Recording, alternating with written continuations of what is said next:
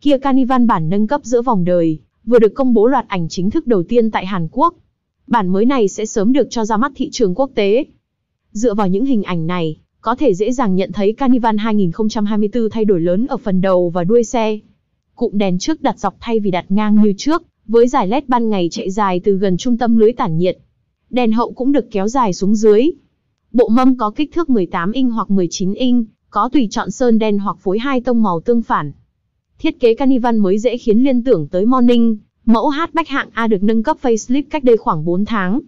Từ cụm đèn trước tới đèn hậu và bộ mâm đều có nét tương đồng Morning. Một số mẫu kia bản nâng cấp khác cũng theo xu hướng thiết kế như vậy, bao gồm Sorento và Celtis. Carnival mới còn có bản được phối màu theo phong cách thể thao. Lưới tản nhiệt, ốp gương chiếu hậu, bộ mâm cho đến tấm ốp nối liền kính hông phía sau đều được sơn tối màu. Nội thất xe vẫn chưa được công bố ảnh chính thức. Theo hình ảnh dò dỉ sớm, mẫu xe này sẽ có những thay đổi nhẹ bên trong, trong đó đáng chú ý nhất là cặp màn hình 12,3 inch được thiết kế dạng cong, tích hợp hệ thống giải trí đa thông tin đời mới nhất.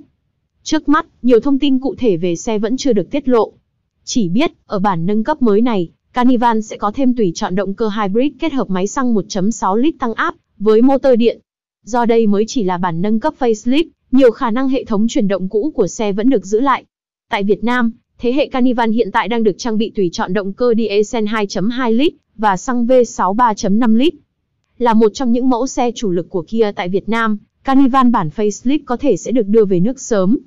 Mẫu minivan này hiện được lắp ráp trong nước. Đối thủ của Kia Carnival tại Việt Nam là Hyundai Castin và sắp tới có cả Volkswagen Viloran. Bản facelift của Carnival về nước có thể giúp mẫu xe này tăng sức cạnh tranh xét về khía cạnh trang bị khi đối thủ đang có lợi thế về giá bán. Castin có giá cao nhất chưa tới 1 tỷ đồng, trong khi giá Carnival lên tới hơn 1,8 tỷ đồng,